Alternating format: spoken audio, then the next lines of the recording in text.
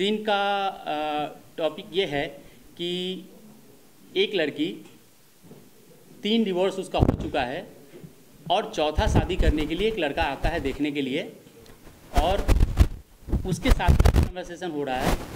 ये हमारा टॉपिक है। ये टॉपिक के ऊपर फ़िल्म बनाना है ये आइडिया कैसे आया? ये- आखिर यही टॉपिक नहीं टॉपिक तो हमारे दिमाग में सालों से था कि ये औरतों के साथ में जाति हो रही थी। बहुत जाति हो रही थी। ये टॉपिक हमारे पास करीब करीब पाँच छः साल पहले से था। लेकिन अभी जो मीडिया जो हॉट है हाँ। अभी जो पॉलिटिक्स लेवल पे जो चल रही है कोर्ट में जो पिटिशन जो फ़ाइल हुआ है तो उस लेवल पे हमने ये डिसाइड किया कि अभी इस टॉपिक पे काम करना चाहिए। कि एक समाज को एक मैसेज जाए कि बैन होना चाहिए या नहीं बैन होना चाहिए। इसलिए मैंने ये स्टोरी लिखी और हम बनाने जा रहे हैं। फ़िल्म की अगर बात करें तो फ़िल्म के ज़रिए